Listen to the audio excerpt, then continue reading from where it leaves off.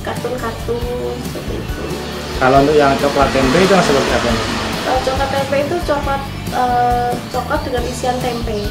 Paling diminati yang mana mbak? Sejauh ini mbak? Kalau peminatnya banyak yang di coklat karakter kalau harapan ke depan mbak? Ujur. harapannya ya semoga usahanya tambah lancar laris dan juga berkah semua.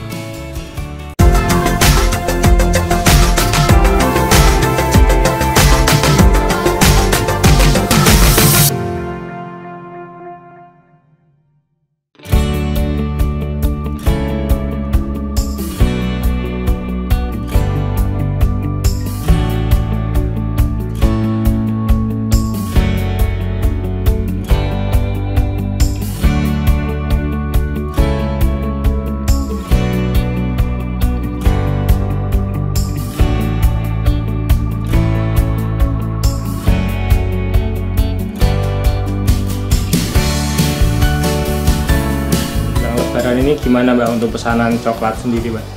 Kalau pesanan alhamdulillah apa naik ya daripada tahun kemarin sekitar 50 persen. Kalau di sini bikin coklat apa coba? Ada coklat karakter, ada juga coklat tempe. Kalau untuk harganya sendiri mulai berapaan Mbak? Uh, kalau harga 50.000 sampai yang mahal itu 150.000. Kalau permintaan dari daerah mana aja Mbak?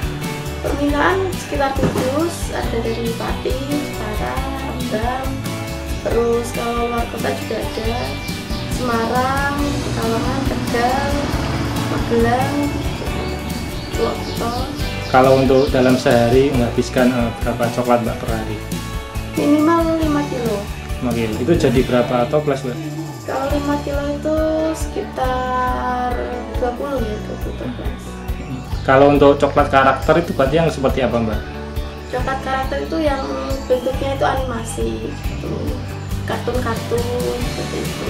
Kalau untuk yang coklat tempe itu yang seperti apa Mbak? Coklat tempe itu coklat eh, coklat dengan isian tempe. Paling diminati yang mana Mbak sejauh ini Mbak? Kalau peminatnya banyak yang di coklat karakter. Kalau harapan ke depan Mbak? Harapannya ya semoga usahanya tambah lancar, laris